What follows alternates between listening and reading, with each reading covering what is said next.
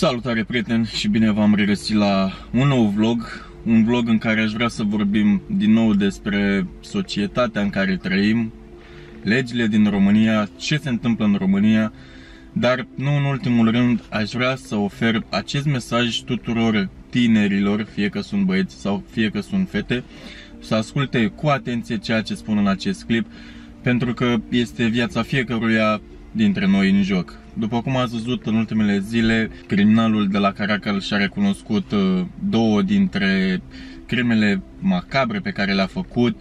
Nu se știe exact dacă le-a dat foc, dacă le-a îngropat pe undeva sau alte nenorociri ce ar fi putut să facă acest individ, pentru că nici nu putem să-l numim altfel, nici nu, nu avem cuvinte pentru acest om.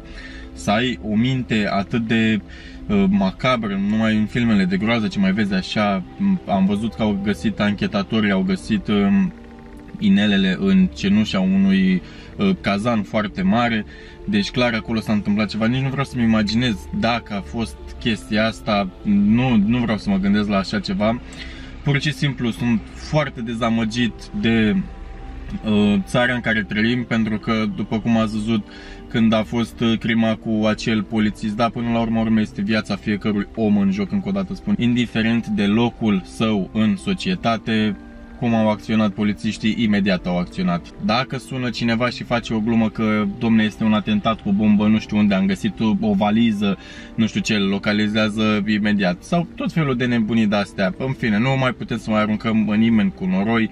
Degeaba aruncăm pentru că faptele au fost deja făcute și chiar nu mai are rost să mai aruncăm în stânga și în dreapta cu vorbe, pur și simplu noi ca și uh, societate trebuie să luăm uh, măsuri, trebuie să gândim puțin altfel și cumva să facem legile mult mai aspre. Oamenii de acest gen nu pot să-mi imaginez ce ar putea să merite, pentru că dacă ai ajuns să faci așa ceva cum numai în filme vezi, uh, deja înseamnă că ai niște probleme psihice și cumva nu mai conștientizezi ceea ce faci în jurul tău, aducându-i astăzi toate probele incriminatorii. A confirmat că a făcut aceste fapte, dar mesajul meu pentru toți tineri, da, și aici mă refer în mod special la cei care sunt prin afara Bucureștiului, care uh, vor să ajungă la școală, care vor să ajungă la muncă sau oriunde altundeva și sunt nevoiți să facă oarecum uh, autostopul, să facă cu cineva, nu știu, nici nu sunt de acord cu chestiile, cu bla bla care sau toate nebuniile astea pentru că um, nu ai încredere în oameni și cumva dacă ești fată, că de obicei la fete se întâmplă chestiile astea, pentru că o fată nu este atât de puternică, nu este atât de sigură pe ea pe cât ar putea să fie un bărbat. Și tocmai de aceea în marea majoritatea cazurilor um, acești nenorociți tind să se ducă către fete, către femei pentru că sunt puțin mai vulnerabile. V-aș ruga tare mult să aveți grijă când vă urcați în mașina unui necunoscut.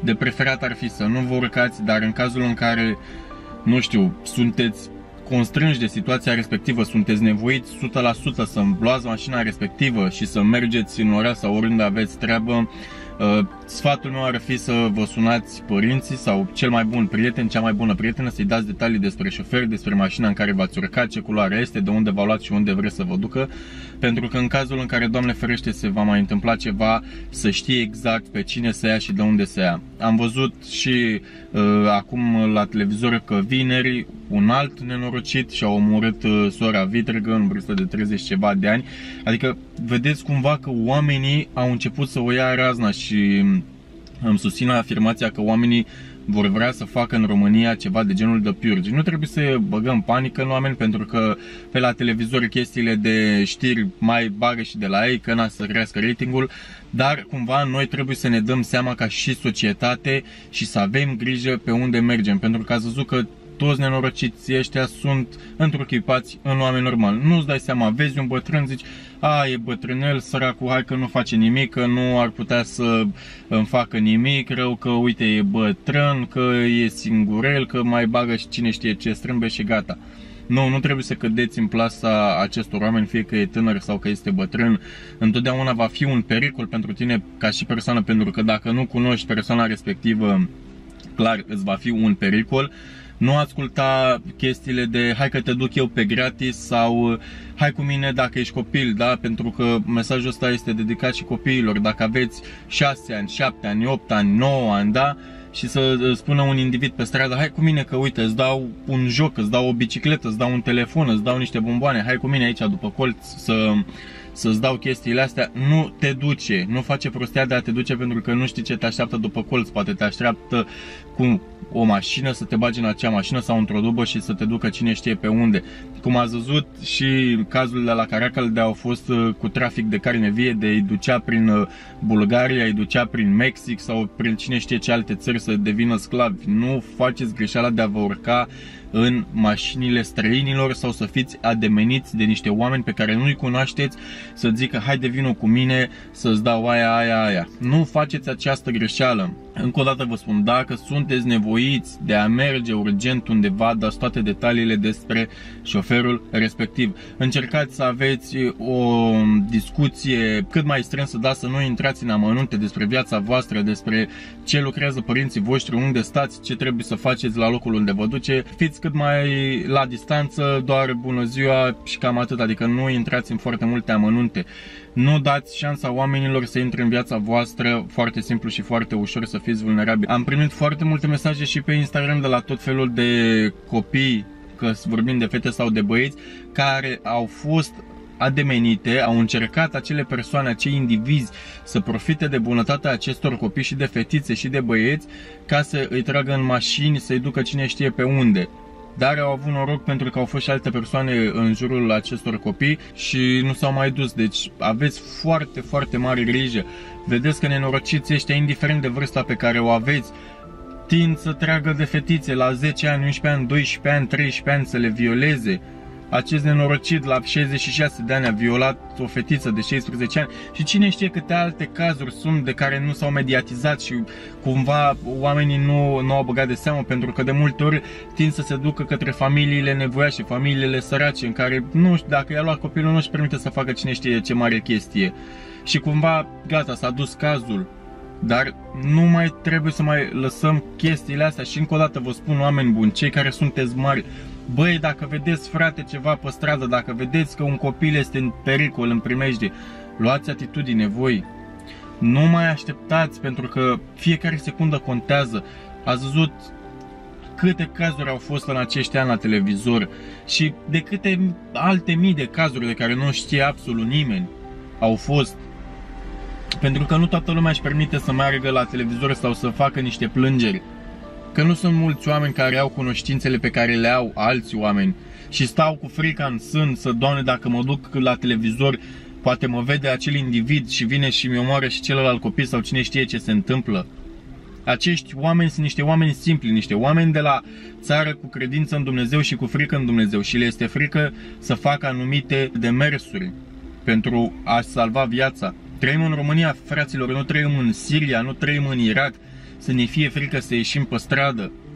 Este inadmisibil când avem probleme să sunăm și să ne se dea din stânga în dreapta, da, că poate or fi um, chestii politice la mijloc, că poate or fi chestii de altă natură, dar până să ne gândim de chestiile politice aici trebuie să ne gândim că este viața noastră, viața copiilor și nu trebuie să mai lăsăm chestiile astea. Mi-e groază, nu știu, eu unul o să plec din țara asta. Vă spun sincer, în cel mai scurt timp o să plec din țara asta pentru că mi s-a luat.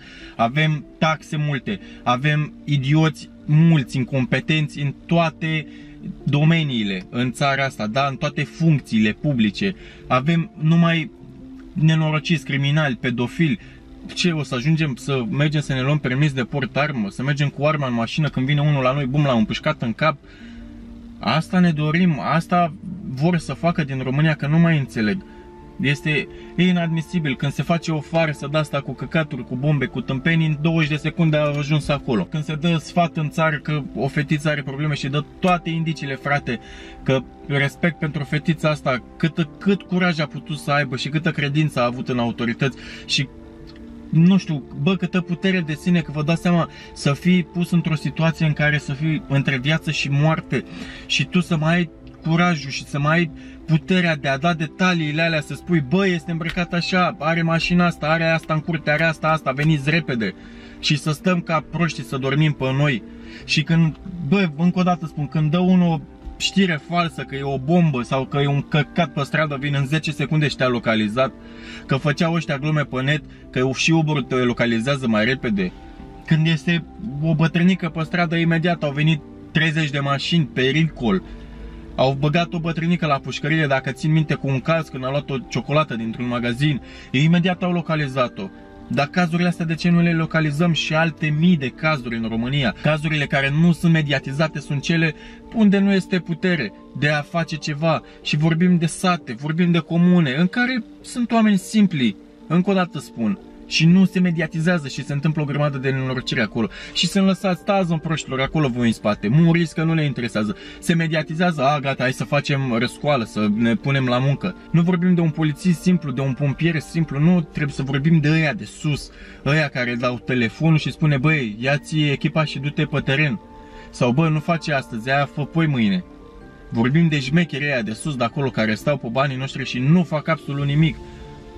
De aia trebuie să vorbim de directori, de conducători, da? Nu trebuie să-i băgăm chiar pe toți în aceeași oală, pentru că sunt oameni care vor să muncească, dar trebuie să respecte niște reguli, care regulile vin de la cei mai sus. Acolo ar trebui să punem noi punctul și să facem ceva. Dar, încă o dată, de prea multe ori este prea târziu și se mediatizează acum după care e gata. În țara asta vedeți și voi.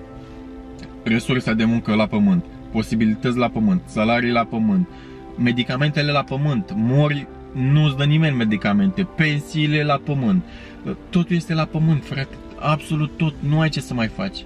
Este zero barat. Și îmi pare rău că se ajunge de atâtea ori la aceste căcaturi. Umblă pedofilii liberi pe stradă. Umblă toți nenorociții pe stradă, liberi. Bă, haide să facem niște legi mai aspre ca în afară, că, bă, uite, ăsta a omorât Știm doar de două fete, da, poate au omorât mult mai multe fete. El bagă la pușcărie. Ce face mă la pușcărie? Stă pe banii noștri, mănâncă, duce o viață relativ frumoasă, da? Că stă doar închis, da, mănâncă, bea, uh, iese la aer, face căcaturile pe acolo prin pușcărie ca să mai uh, îi scadă din pedeapsă și atât. Ăla nu face nimic altceva. În alte țări este în Malaezia, dacă te prinde cu droguri și nu cu droguri foarte multe cum dacă te-ar prinde în România, nu, vorbim de câteva zeci de grame. Este pedeapsa cu moartea acolo. Doar pentru droguri, imaginați-vă pentru alte chestii, în alte țări la fel, cum sunt cei cu, cu alte credințe, da, că nu vrem să dăm denumiri sau alte chestii îi bat cu pietre când se dau la femei sau femeile când se duc la alți bărbați și sunt măritate, le bat cu biciu și stau cu zilele în soare, sângerând.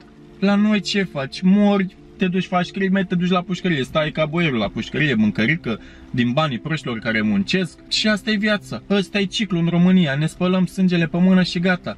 Nu frate, hai să facem cum erau pe vremuri, da? Dacă sunt criminali care fac chestii ca în filme, hai să aplicăm și noi legile ca în filme. Să-l punem pe scaun cu electroșocuri, să-l punem la decapitare, să-l punem la chestii cum se fac în filme, dacă chestiile astea se fac ca în filme, să procedăm și cu legea la fel.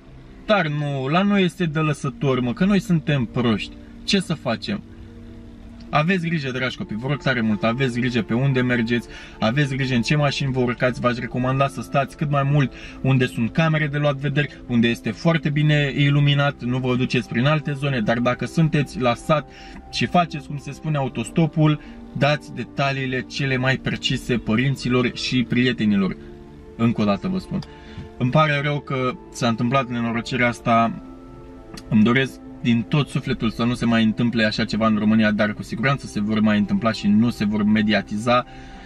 Dar noi ca și societate trebuie să fim mai uniți și în cazul în care vedem ceva, nu neapărat de crime, că se fac tot felul de prostii pe stradă, haide să ne implicăm pentru că s-au făcut foarte multe chestii de astea, să vedem opinia publică dacă sare sau nu și nu prea suntem săritori. Haide să sărim, să ajutăm, să ne dăm interesul mai mult. Aveți grijă de viața voastră, de sănătatea voastră și încă o dată aveți grijă în ce mașini vă suiți și cu ce nenorociți luați legătura, chiar și pe rețelele de socializare. Vă salut cu drag și numai bine!